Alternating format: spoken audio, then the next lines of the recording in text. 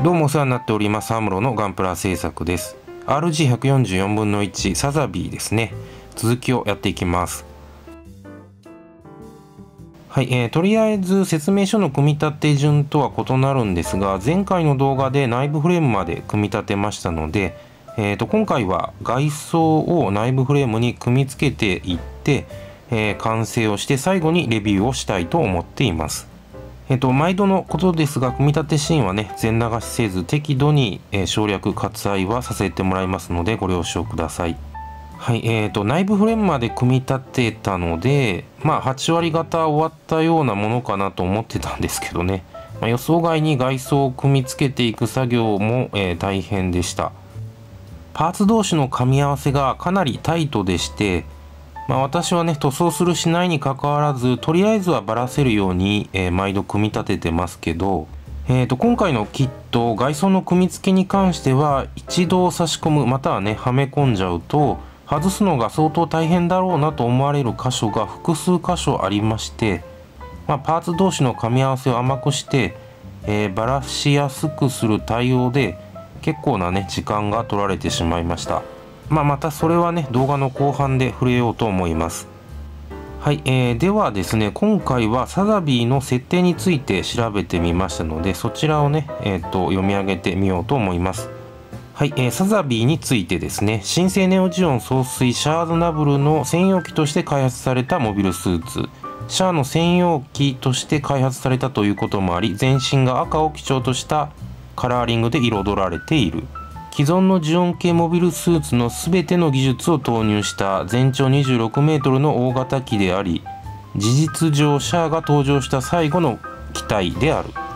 設計は旧ネオジオンアクシズを前身とするハマンカーン指揮下のネオジオンの、技術者が、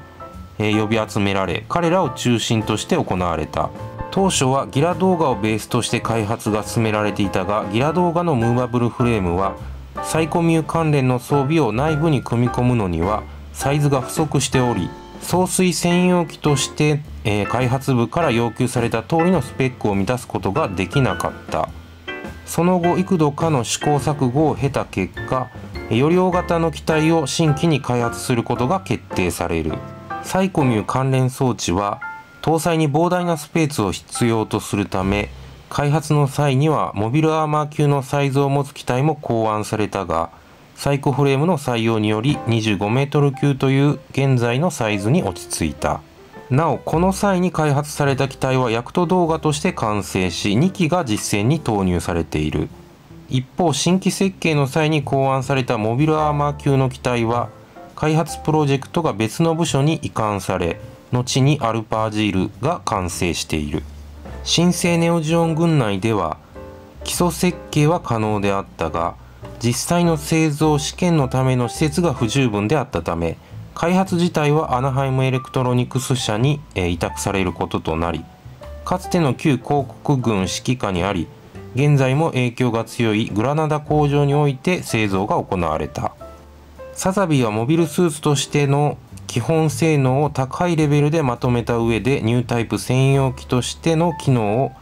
えー、付加させていくという理念のもと開発されその結果モビルスーツ単体での基本性能とニュータイプ専用機としてのサイコミュ関連の性能がともに高く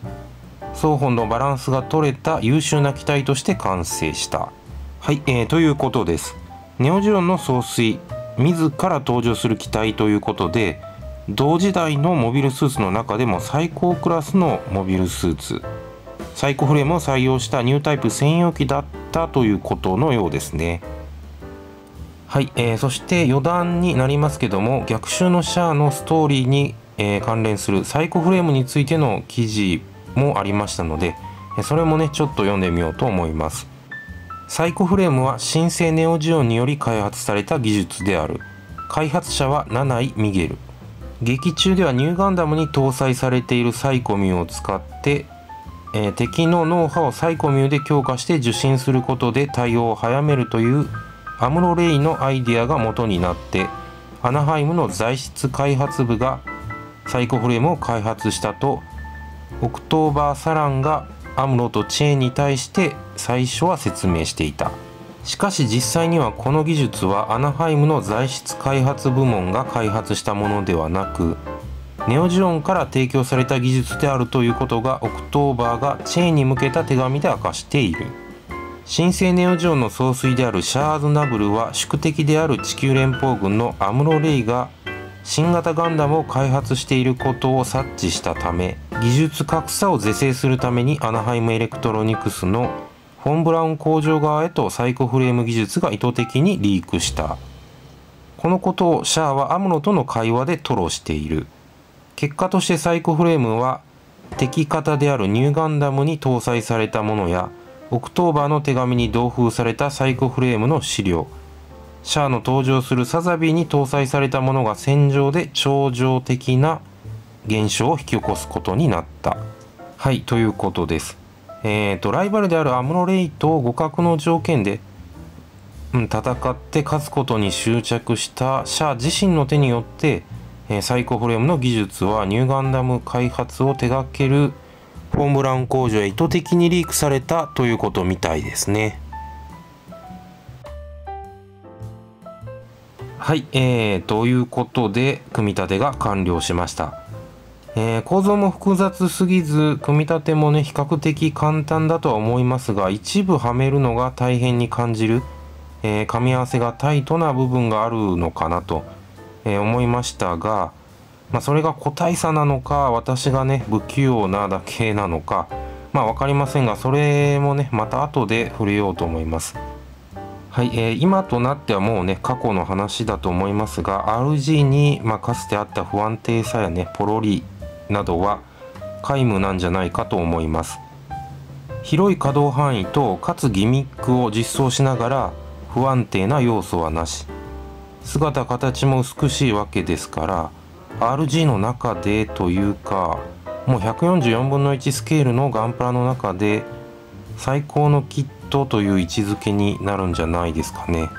素直にうちの家にあるガンプラの中で一番すごいガンプラだと思います。全体としてはスタイリッシュなんだと思いますが設定画にある肉感的なムチムチした感じも、まあ、落とし込んでるんじゃないかなと私の目には見えるんですが MG や HG のサザビーとはまた違った解釈というかアプローチというか、まあ、過去のサザビーにはねなかった表現だなという感じがします。はい、えー、武装ですね。ビームショットライフルシールド、えー、ビームトマホークビームサーベルそしてファンネルになります。ビームトマホークはシールドにマウントができます。ビームサーベルは袖口に収納してあるという設定で、えー、取り外しが可能になっています、えー、握り手平手武器の持ち手トリガーに指をかける銃の持ち手のハンドパーツが付属しています。リアリスティックデカールが付属します。ネオジオンのロゴはゴールドになっています。合わせ目として露出するのはプロペラントタンクのみですかね。はい、えー、稼働です、えー、圧倒的ですね。すごいです。特に動かしていてパーツが外れるってことがほぼないのでストレスのなさみたいな部分はむしろ HG の平均値より高いんじゃないかと思います。内部フレーム段階で自在に動かせていたのである程度想定はしていましたが外装をかぶせてもそんなに変わらない感じですね。基本的にはどのエリアも、えー、走行同士の干渉を逃がすまたは避けるような配慮がされています。外装がスライドして開くギミックが各所に実装されています。部位ごとのギミックを可動と合わせて確認していきます。頭部のひさしを上部に引き上げられます。さらにモノアイシールドとマスクは下方向へ下げることができます。胴体お腹部分に可動軸があって可動域はそこまで広くありませんが動かすことが可能です。肘は180度近く曲がります。上腕にシリンダーの伸縮ギミックを実装しています。さらに上腕の走行がロックとなっていて外すことで上腕を伸ばすことができます。前腕の手首付近の走行はわずかですがスライドします。ショルダーアーマーの走行がスライドします。前後の走行が独立して稼働するのでショルダーアーマー全体の位置を動かすことなく腕を前後に振ることができます。はい、えー、腰の部分ですね、え、腰の接続部は中央軸に左右に、え、傾きます。フロントアーマー部分は外側に向かって開きます。太ももとのえ干渉を避けて大きく足を振り上げることが可能になっています。リアアーマー、サイドアーマーに走行のスライドギミックを実装しています。股関節については左右独立してスイングします。膝は180度近く曲がります。可動に合わせて膝の外装が追従します。はい、えー、硬いですね。前方の走行が前後にスライドします。外側の走行の開閉が可能になっています。バックパックの外装はかなり大胆に開閉します。スラスター付近の走行も稼働します。ファンネルコンテナの開閉ファンネルの取り外し。ファンネルは羽の展開とビーム発射口が突き出るギミックも搭載していますはい、えー、組み立てに苦労したなというところに触れておこうと思います個体差の可能性もありますし、まあ、私が勝手に誤解している可能性もありますので、まあ、認識が一致しない方はスルーしてください。はい、えー、頭部ですね。カメラの差し込みなんですが、ひさしのパーツにうまく差し込むことができなくて、かつね、アンテナが細くて折ってしまいそうで、うまく力も入れられなかったので、差し込み口を少しデザインナイフで削りました。